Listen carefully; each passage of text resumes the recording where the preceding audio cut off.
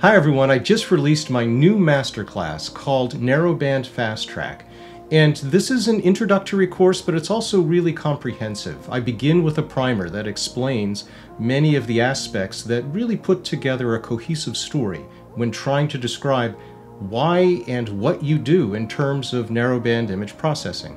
I'm going to release the first handful of sections here on YouTube so that you can take advantage of the information, but you can also see how I like to put together a course just like this. Of course, the main part of the course where you are doing the image processing, that's in the later sections. But at least you can begin to see what it looks like, and I'll just describe what the rest of the course is all about.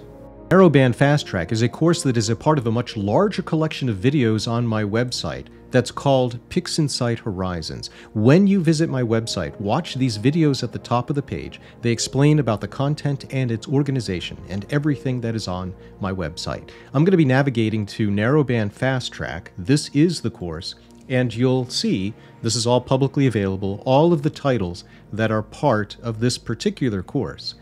I have released the first four sections here on YouTube, but of course there are many, um, there are many more. And in the beginning, uh, as I generally do, I often cover the concept, the fundamental ideas that are important in this case to narrowband image processing.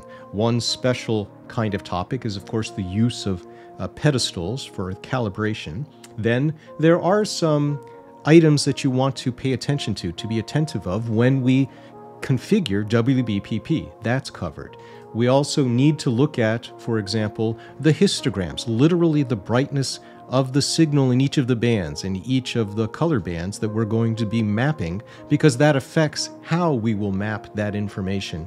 We get to choose what colors, what color palette we're going to use, and to do that effectively, we need to really understand in depth what the data is showing us. Then, of course, we're going to choose of uh, from a variety of combined methods, and I show all of those methods. In addition, it's very important to point out that in narrowband image processing, at least as it is done today, we will take care of the nebula independent from the stars. And then, of course, we might concern ourselves with the various ways in which we are going to include the stars in the data. There are methods where you can uh, create colored stars from the narrowband data itself, or you can incorporate uh, regular broadband RGB stars. After covering all of that kind of general information, then I move on to actually providing, of course, a PDF which lists what is a, a skeleton like workflow you just can't be too specific because there are so many different permutations and ways of doing narrowband image processing, and that's what I demonstrate in the workflow videos. All of these videos come with data so that you can follow along. You can see the final result, the image itself. Hopefully you find compelling, and if you want images like uh, are being shown here, I show you exactly how to do it, and you can do this with your own data to produce beautiful narrowband results. Here, is an example of a monochrome example where we're doing SHO type imaging, though I include other topics like how would you handle that same data if you're going to be employing uh, a luminance. So I also have an LRGB demo. Then moving along, here's an HOO example of producing uh, an image. Again, this is monochrome. I'll get to the OSC in just a moment. Comes with its own data, uh, but it so happens that this data did have S2 as well. And as part of this course, there are innovations.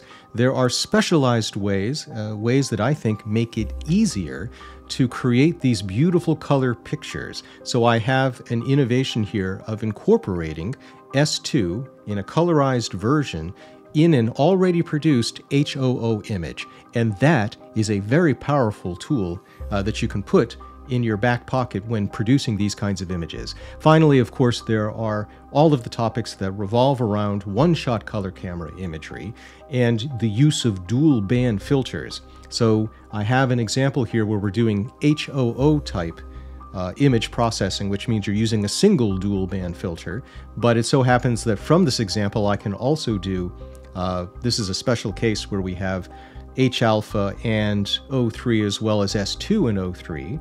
And then you can extract those in a proper way to give yourself all three uh, of those bands that can be mapped together, and I demonstrate how to do that. But that's not all. I continue. I always seem to add more videos to any of my courses. I have an example here of an update of the processing for this Dragons of Ara, as well as that same specialized method that I mentioned for creating a Helix Nebula that looks like this. I hope you can see the depth and breadth of this particular course. I will be adding to it, and I think you should check it out today. Don't forget, your purchase of Narrowband Fast Track can be used towards the purchase of Horizons, so it's a gateway to an even larger universe of content.